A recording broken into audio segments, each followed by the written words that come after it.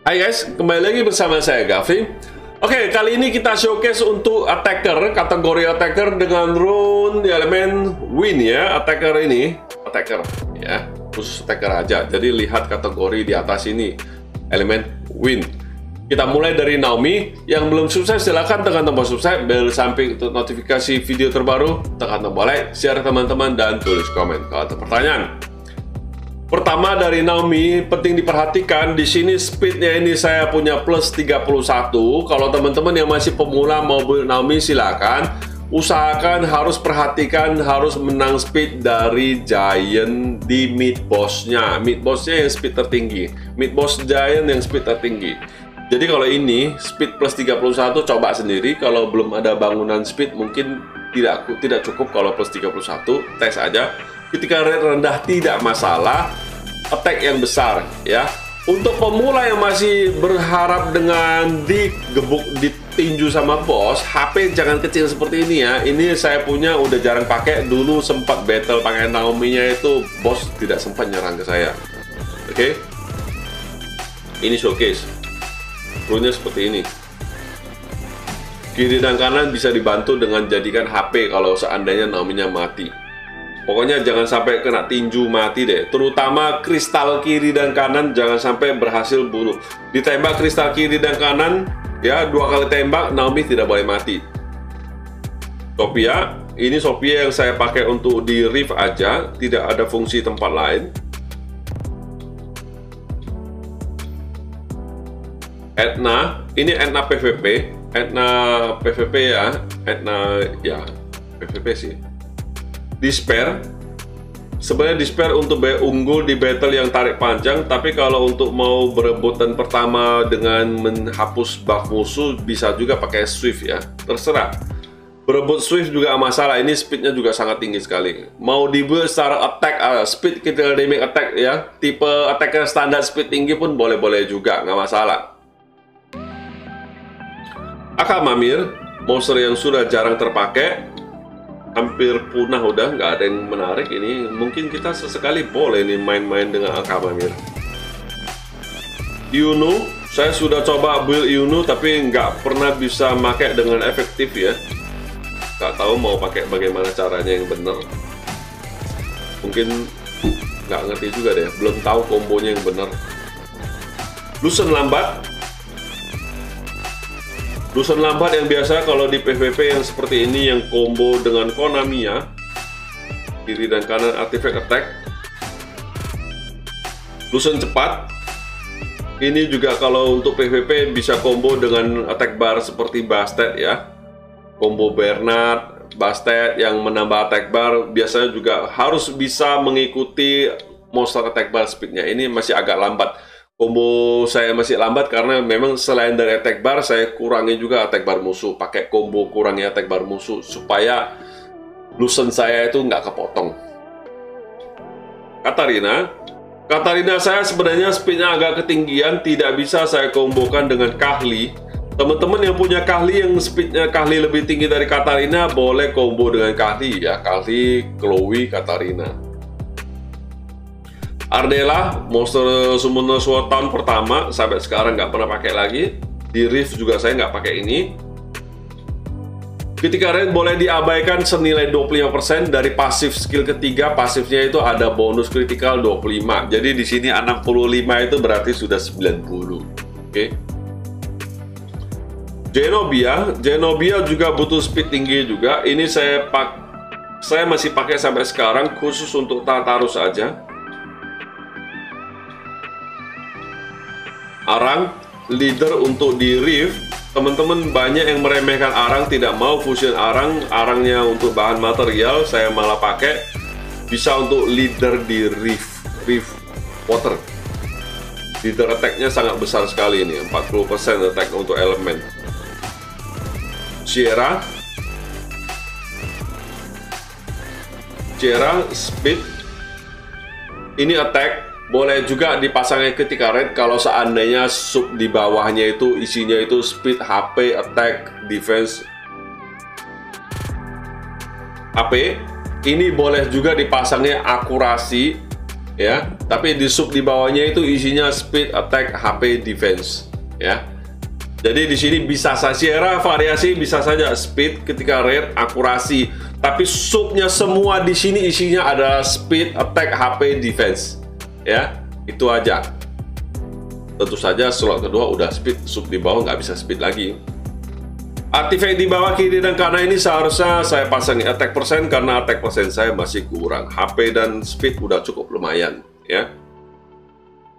Odin, ini Odin produk gagal yang tidak sempat saya ubah gara-gara tiga kali FRR selama tiga bulan di hari FRR selalu ada urusan kalau nggak anak yang sakit, saya yang sakit.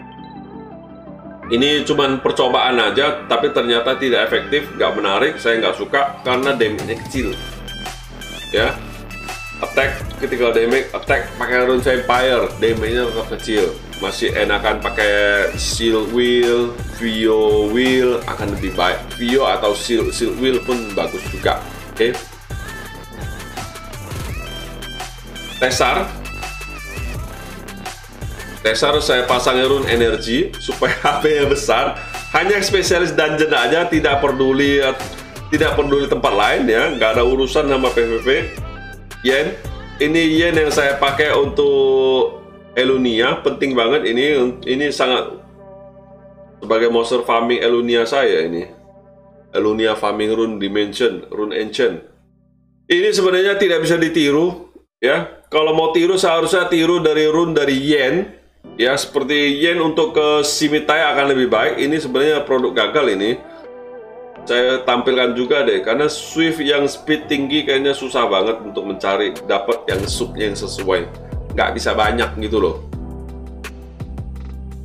Nah Charlotte ini juga bagus ya. Jadi sebenarnya rune yang speed tinggi dengan attack besar itu saya ada ya. Tapi bukan bukan bisa banyak. Saya pasangin di Charlotte satu di Gen satu Cimitai nggak kebagian. Cimitai Charlotte pakai rune fatal speed tinggi critical damage ya belum maksimal attack oke. Okay? jadi critical damage seharusnya masih bisa dapat ada poin lagi dari 130 140-an gitu. 21 ya 136 Res flag status seperti ini bisa jadi tank di depan untuk Rift attack ya. HP subnya banyak. Kiri dan kanan ini HP dan defense oke? Okay? Chungli Win. Chungli Win kayaknya semenjak di buff nggak pernah coba kita. Tapi memang agak kecewa sih. Hitnya ini kurang kecil banget. Attack barnya cuma 20% udah eh udah ditingkatkan 20% tapi hitnya cuma tiga kali. Dalsim Dalsim yang tidak pernah kita pakai juga ini Dalsim hit critical damage attack oke okay. Link-link, ini link-link yang saya pakai untuk farming di steel.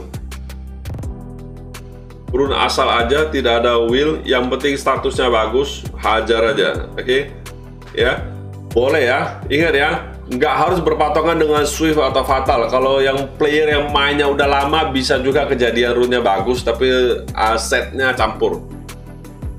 Chongpung sudah pernah ada videonya secara khusus. Ini Chongpung support full support tidak terlalu peduli attack. Mau detail pembahasan juga ada di videonya secara khusus. Selesai kita coba video lihat di bagian kategori attack untuk win. Bintang 3 tidak ada yang menarik. Ya. Lewati aja semua bintang 3. Bintang 4 yang belum saya tampilkan Selena. Selena sebenarnya ada saya build tapi nggak saya tampilkan kalau mau lihat run kalau mau run boleh tiru dengan run Arang bisa, mau tiru dengan Charlotte pun bisa ya. Charlotte, Yen, Arang terserah. Julian, Julian juga tiru run, run dari Charlotte pun bisa. Fatal dengan speed di atas 200, ada akurasinya. HP uh, eh, usahakan HP ada sedikit. Kalau mau build ini bisa untuk di Towahat kayaknya bisa juga, tapi butuh skill up yang susah.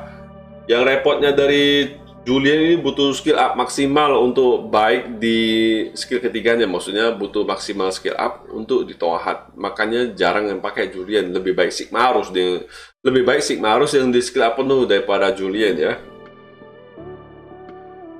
Ini lewati, nggak menarik. Dulu unggul dari Crow, semenjak Crow Second Awakening, Argen jadi kehilangan tempat. Ini juga empuk banget, nggak bagus lagi sekarang. Dulu counternya Theo, Theo-nya sekarang udah tenggelam karena memang banyak banget yang bisa antisipasi battle-nya Theo. Kaito tidak dibutuhkan. Berikutnya, ini kalau mau ini ini tipe speed tinggi-tinggi, juara speed aja deh, nggak ada urusan dengan tipe-tipe attack ini. Support ini sebenarnya akurasi, speed, HP, akurasi, semua subnya speednya tinggi-tinggi. Udah,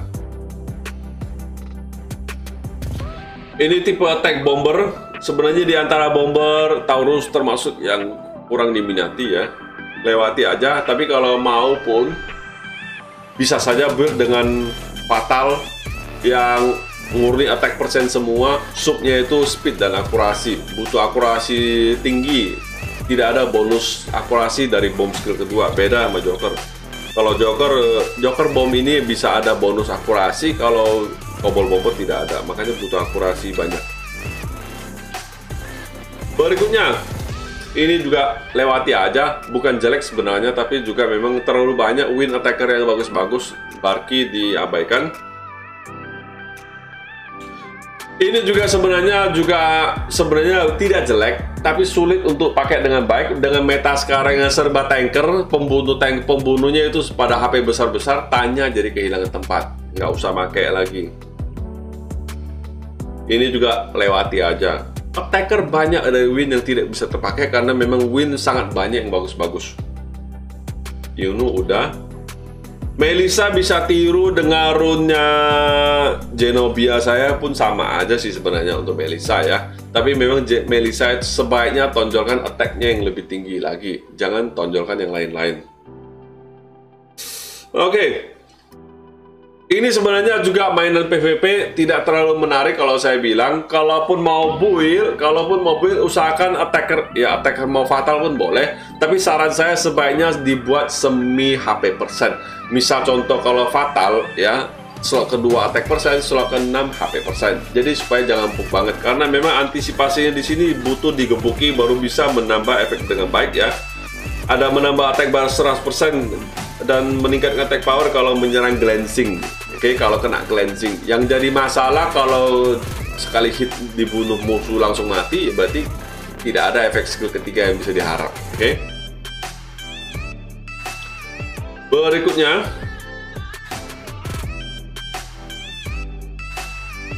Lake Maron sebenarnya cara-cara run dari Charlotte sama aja. Oke. Okay? Tinggal kualitas run tinggal kualitas run dari teman-teman. Kalau dipasangnya run swift maka speed yang di Charlotte itu bisa lebih tinggi lagi. Sangat ganas banget kalau untuk di Lake Maron oke? Okay? berikutnya ini Christine. Christine juga sama aja run dari Charlotte sebagai penirunya. Kalau teman-teman mau cari inspirasi bagaimana caranya pasang run ya. Run dari Charlotte ini bisa jadi pelajaran bisa jadi patokan untuk teman-teman. Pelajari dengan baik nggak akan sia-sia ini pun sama seperti rek Maron tadi, kalaupun mau build, ya kalaupun mau build run dari seperti tiru-tiru run calok, atau mau yang belajar dari run pernah pun bisa ya. Showcase fire untuk kategori HP kalau pernah ya. Saya pun tampilkan di kategori attack pun saya tampilkan pernah juga karena memang pernah saya itu spesialnya yang terbaik attacker terbaik saya ada di pernah. Oke? okay? Tungpung udah. Ini pun sama dengan Lake Maron dan Savannah tadi juga sama. Attacker speed tinggi juga. Kalau speed rendah-rendah jadi tidak bisa manfaatkan ini ya. Kalau mau manfaatkan ini dengan baik butuh speed tinggi. Udah selesai. Kalau ini sebenarnya tidak menarik. Kalau mau build pun ya oke-oke juga. Mungkin ya bisa juga tiru-tiru run Tesar saya ya yang ATK besar HP besar spesialis dungeon nggak usah baik-baik macam-macam dengan rune wheel nggak usah nggak penting ya oke okay. oke okay, selesai ya